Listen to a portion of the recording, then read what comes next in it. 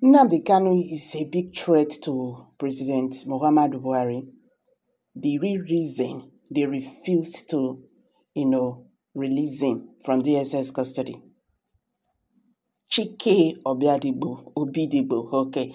Well, it is a secret, this threat, this, this, this, and that. Make them whole and well.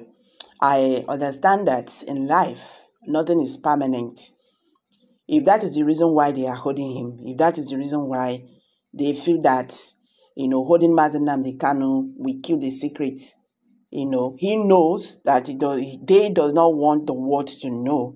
That is a very big lie. I don't see any secret secrets. There's nothing like secrets. That you think that somebody know about you, and you want to make sure that that thing does not come come out, and you feel that when you buy the person, the secret don't go. You are just you are just deceiving yourself. You understand? I recall a few weeks ago, Omoyele Sowore also said something like that, that there's a secret.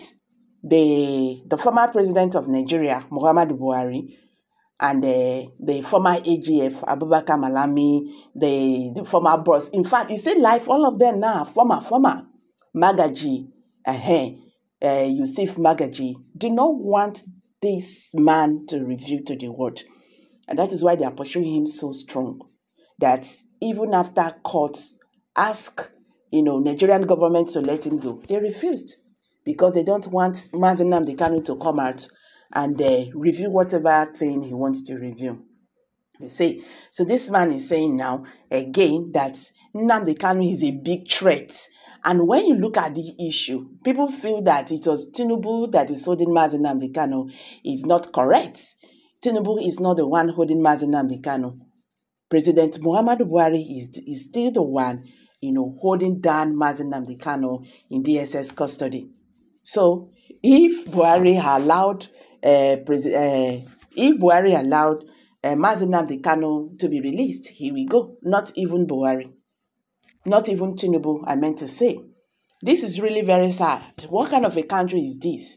That a, a court, a court of competent jurisdiction, we give orders, we give judgment. The government do not want to obey the judgment because of their selfish interest, because of whatever ever you know they they they are playing and all that. Like as I said, thank God as I was even mentioning the names of these people, all of them are former former. They are no longer here. So this is life for you. Anything you are doing, understand that it's not going to be permanent. Any office you, you day to day, you feel say you go do whatever you, you humiliate people, you do whatever you like, thinking that you have you are you are now demigod. Don't don't forget that it's going to be permanent. All these people that are doing all these things now, they are now former, they're no longer dead. But you know what? These presidents have to play along because According to Sowore, is one of the agreements they had before President Muhammad Buhari could, you know, support the president for his president, uh, presidential whatever presidency bill and whatever. So now this man is still saying it again. That Nnamdi Kanu is a big threat to the Northerners. Is it because of what he reviewed about the marginalization? No, no, about the what is it called, Islamization of Nigeria and all that because the northerners they don't want use eye hear about use eye see Kano or use hear hear anything about Mazi Nnamdi Kanu. This other statesman, uh, Chike Obiadibo, also stated that the outcome of Mazi Nnamdi Kanu's continued detention will reflect the commitment of the current Chief Justice of Nigeria. So this one a text. This one a big text. It's just that all these people, they be the same. You get. But how I wish this woman will stand out and say, No, I am not like them. I will do the right thing, no matter how it is. So that is what this man is saying. He said, This Mazi Nnamdi Kanu's case will reflect the commitment of the current Chief Justice of Nigeria, Justice Kudirat Kekere, to uphold the rule of law and ensure that justice is served. You understand?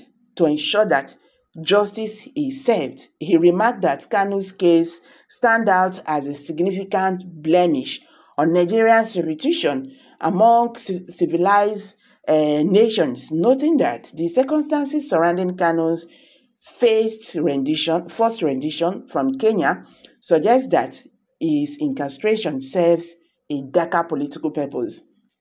So you see, so it's just coming out. All these ones they are just doing is there, there, there is more to it. So it's a political motivated matter. Mazen the Kanu's issue.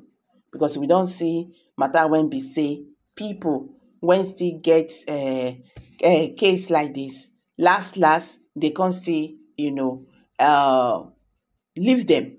What are we talking about? So why is the man uh, Nnamdi Kanu's case uh, uh, difficult for the Nigerian government to see that? Oh, even if make we just even forget about Mazi Nnamdi Kanu, it's people what they are going through in the southeast. You understand? So guys, uh I dey I dey drop am for here. How na see this matter? Uh, kindly share your thoughts below the comment section. Don't forget to give us a thumbs up.